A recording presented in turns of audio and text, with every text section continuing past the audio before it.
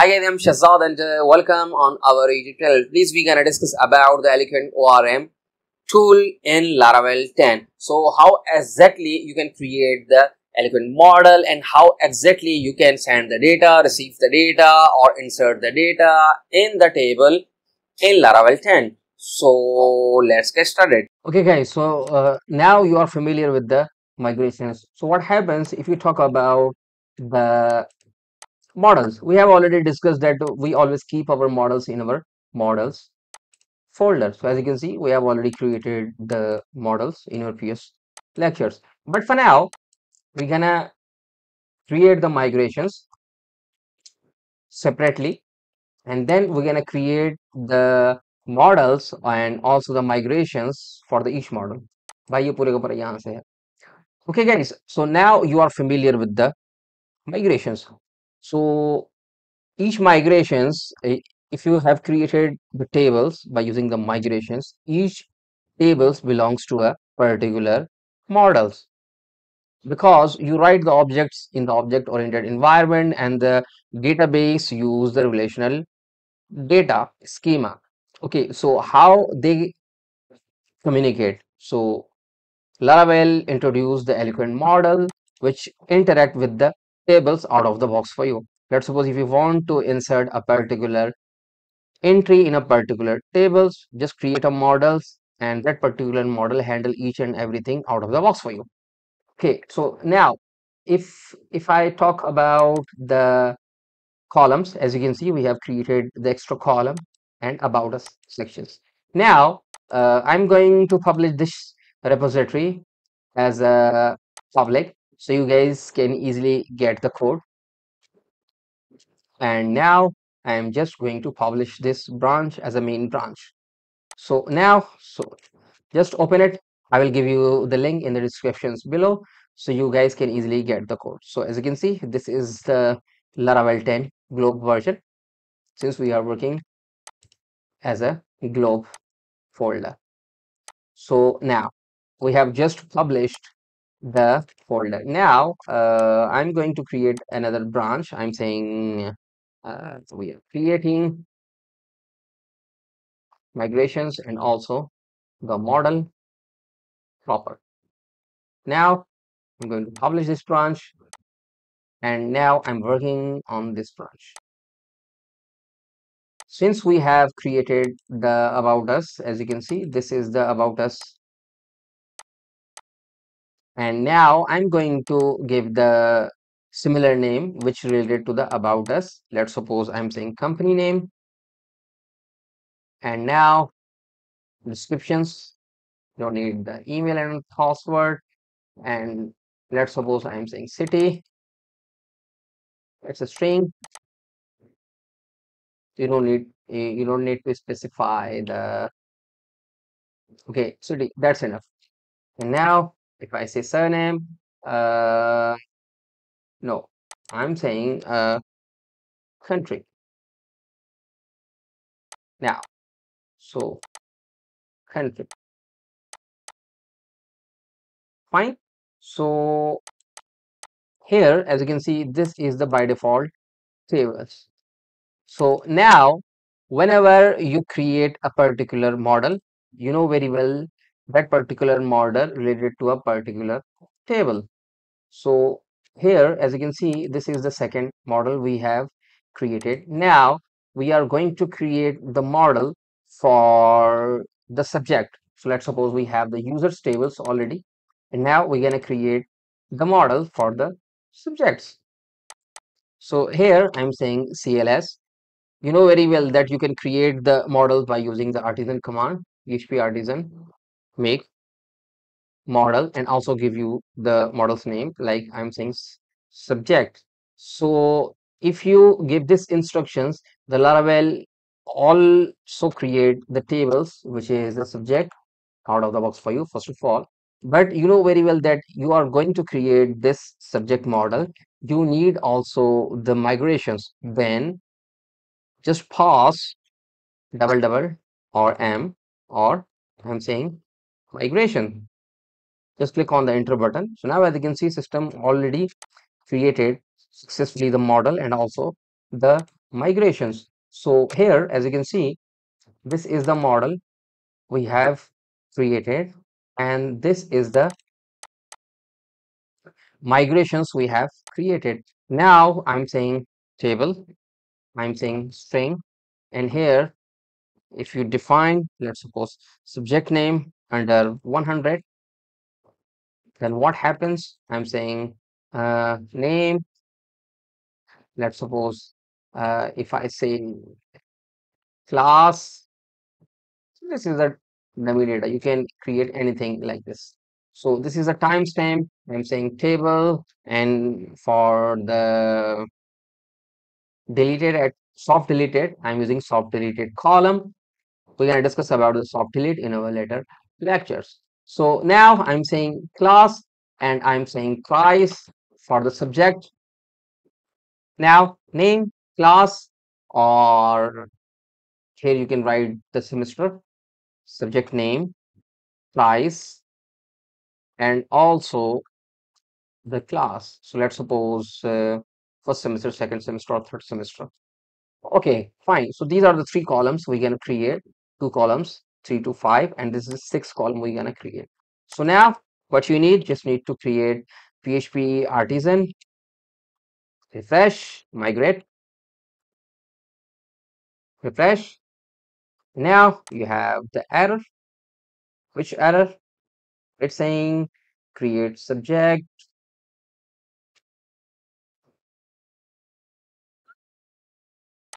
Okay. This one once again refresh and now. You have now created the subject tables the model and also the table name class and also the price. So now i'm saying go to the model section. Since we have created the migrations so now go to the model. And here in the model you have to define some few things like table name. I'm saying protected table the name of the table. You have to give what is the name of the table. So this is the table name. And also i'm saying protected primary key which is the id if i say soft delete that means we're going to use soft delete. Here you have to define the soft delete. Soft delete once you define the soft delete the system automatically added the eloquent soft delete here. So control z as you can see since we are using the extensions so that's why we only use the soft delete and the system automatically created the soft delete out of the box for us. So whenever you delete the particular entity or the tuple the laravel only delete or hide the column. Basically it's only added the value in this column. So now you have this table you have the id you can also use the fillable. So if you go to the model which is the user here as you can see they are using the fillable. So we ha you have to define the fillable also when you define the fillables for your tables i'm saying name and also the class and the fillable is also the price. So if you are not defining the name then definitely whenever you insert the name Laravel never give you the access to insert the name column. So that's why you have to define the fillable so these are the three columns. You have to define the fillables okay now here since this is a subject model so now we're gonna create the subject cls i'm saying php artisan make controller and I'm saying subject controller. Fine. Just click on the enter button so you have the subject controller. So here, uh, sorry, my bad. I'm going to delete this one because we're gonna use the controller resource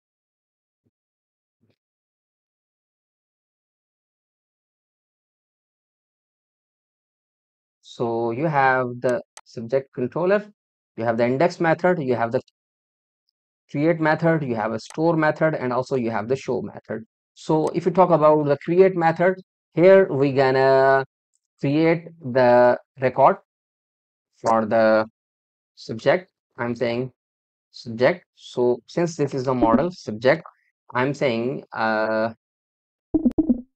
so as you can see we have added the subject model here. I'm saying new uh subject obj object. So i'm saying new subject. And here if you say subject and now name give the name of the subject column also the three other columns. So class.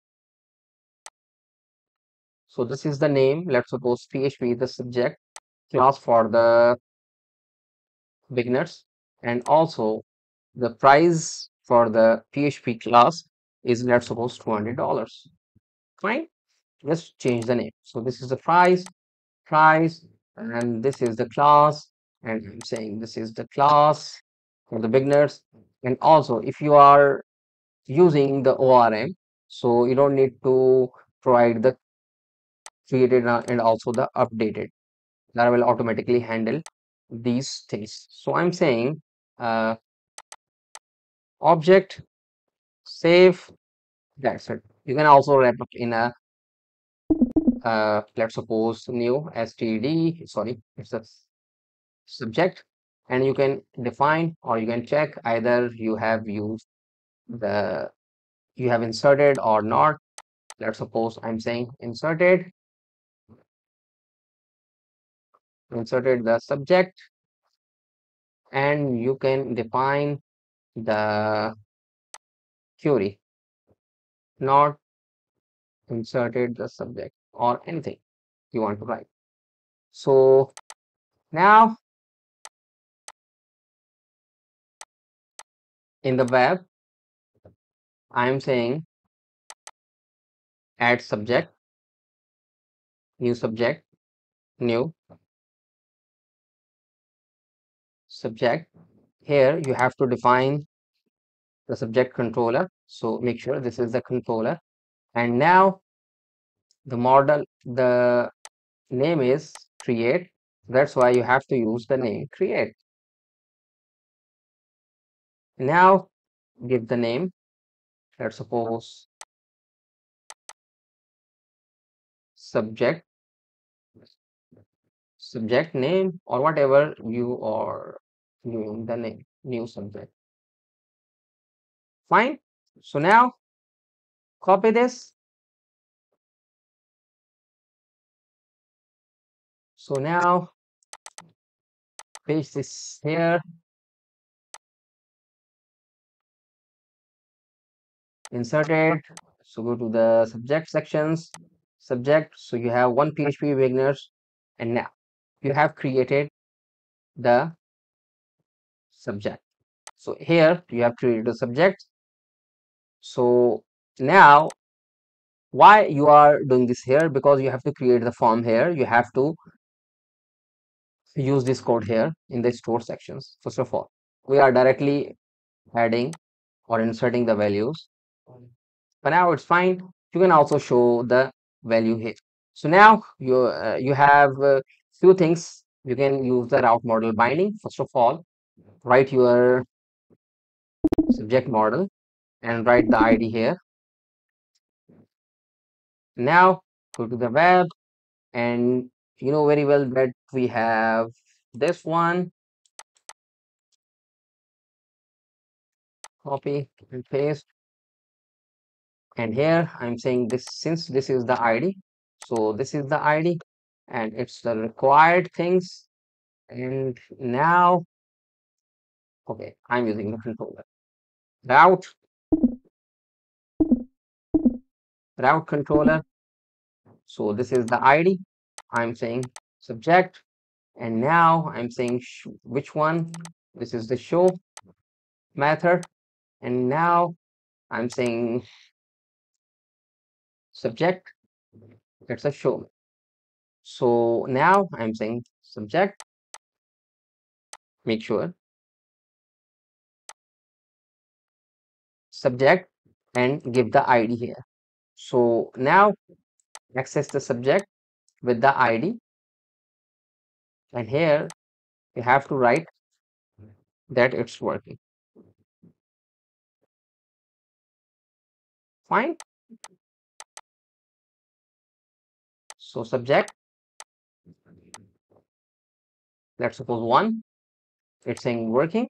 So now just dd diadem so now as you can see it's giving you the first one. You don't need to check from the database. So this is the first way. Make sure we always use the route model binding. So this is the route model binding. So your route binding with your model. If you are not doing this you have to use the id like this.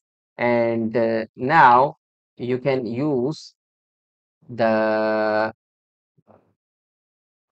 subject model and I say find and you can give the id here. And now you can write same thing my subject and now you can use the dd the item once again fresh both are the same things. So here you are adding the extra code let's suppose if you are saying that this is the second since second record is not available so that's why it's showing you the empty. I'm going to comment this one so you guys can easily get the code now i'm saying subject. I'm using the route model binding. And now if i dd both are the same thing. You don't need to use if the data is not available it's saying 404 not found you can also check here with the if else. If the data is available then you can use the if otherwise you can redirect to anywhere. Fine so this is the route model binding. And now let's suppose you have inserted two records so let's suppose i'm saying laravel and here in this time i'm saying advance and the price is let's suppose 500 dollars. Or 500 for now i'm saying create or i have to check new subject. Create it insert it now fresh. So this is the second one 500 so now if you talk about the controller. So here since you are using the route model binding so that's why it's showing you the specific one. So if you access the add this one so definitely you have to use the subject. And now you can use the find to find the specific or you can use the all which gives you all objects. Uh, all subjects. Fine if you really diagram to check whether it's working or not since this is the index. So that's why I go to the sections and I'm saying route controller a controller. I'm saying all subjects or something like this subjects.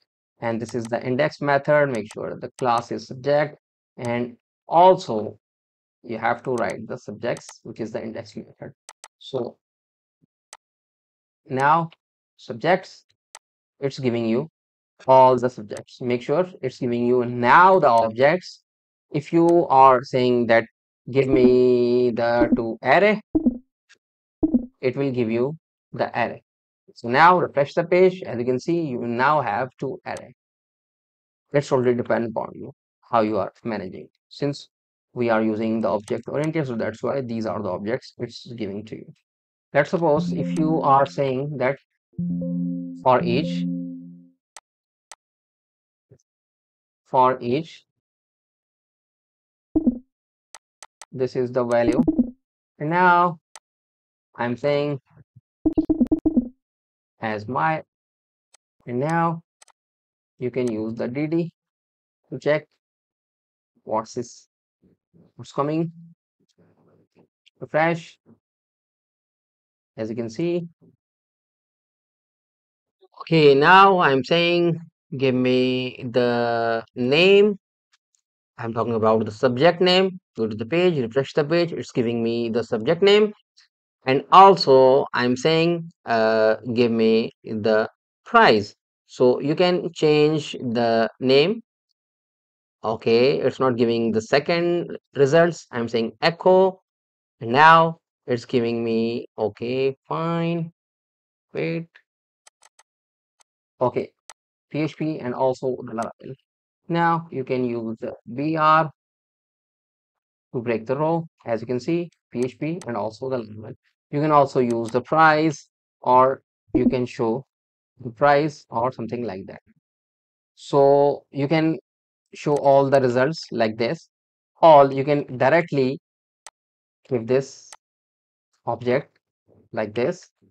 It's also working fine even if you want to perform some other kind of actions like uh, where so i'm saying where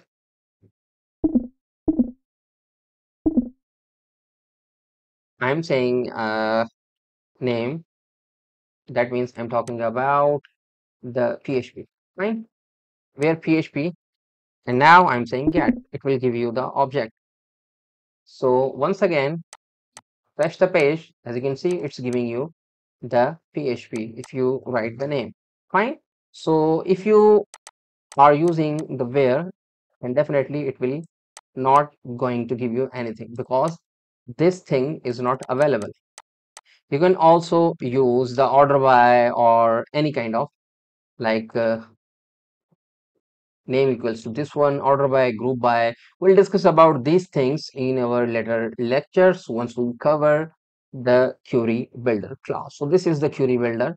So laravel also provide you the query builders things but this is the overall scenario or the examples of the models. Okay guys in this way you can create or manage the eloquent model or insert the data in the tables by using the eloquent model. So i hope guys you are enjoying our videos. If you think we are doing good thumbs up. Feel free to share our courses with your friends especially on social networks. And please support us and our channel by clicking subscribe button and pressing the bell icon so you never miss any update. So thank you for watching